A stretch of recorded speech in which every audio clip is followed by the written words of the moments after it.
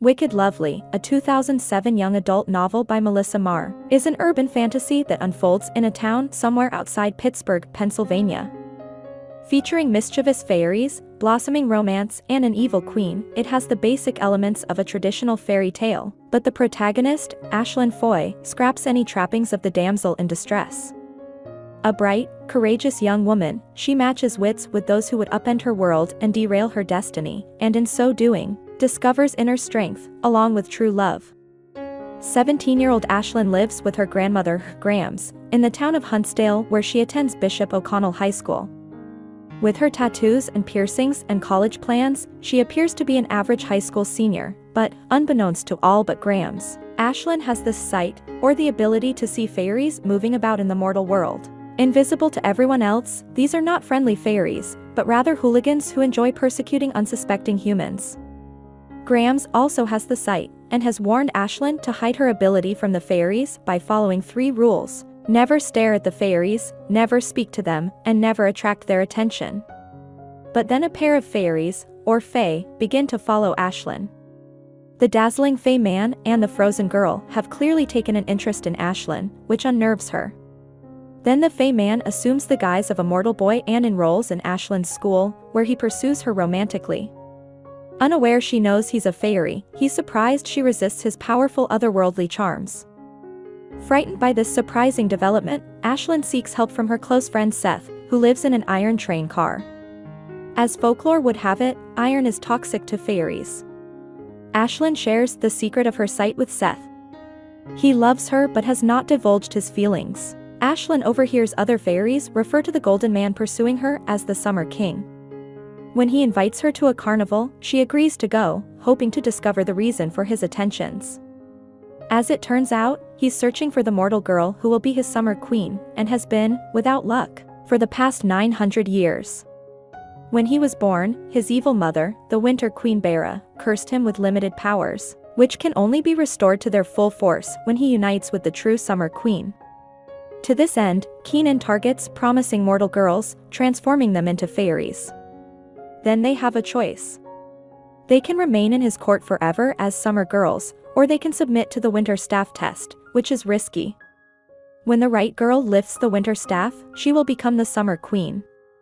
But if she's the wrong candidate, as has always been the case, she turns into the winter girl, condemned to suffer relentless cold until the next girl fails the test and takes her place. Donia, the frozen girl perpetually by Keenan's side, is the last mortal whose love for Keenan led her to lift the sword unsuccessfully.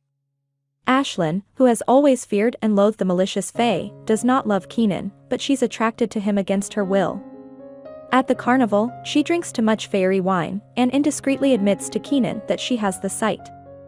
They kiss, and the next morning, when Aislinn wakes without much memory of the night, she worries their flirting went beyond kissing. She's relieved to learn otherwise, as she's guarding her virginity.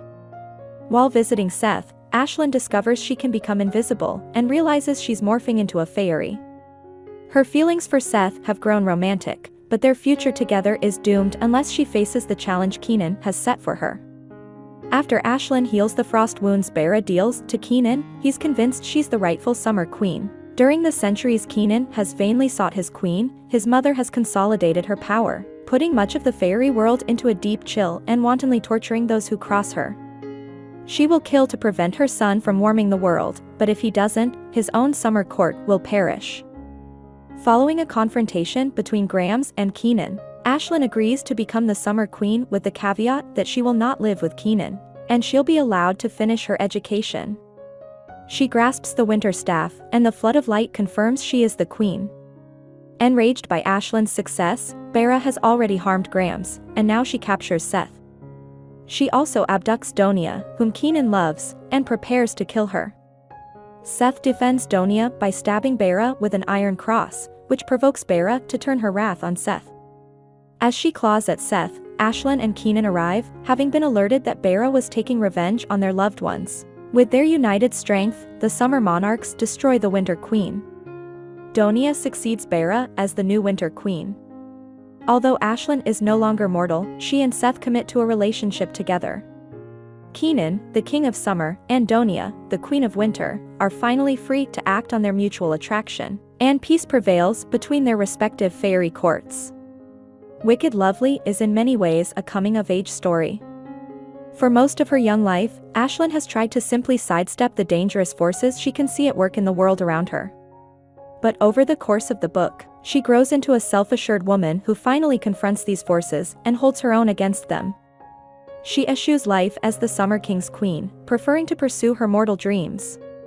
She chooses life as a student and love with Seth. Indeed, the power of choice is hers at last, after having no choice but to endure the sight she did not want, and the role of Summer Queen that fate imposed on her. Wicked Lovely is the first of five primary novels in a series by that name. I hope you enjoyed this video leave a like if you did and be sure to subscribe thank you.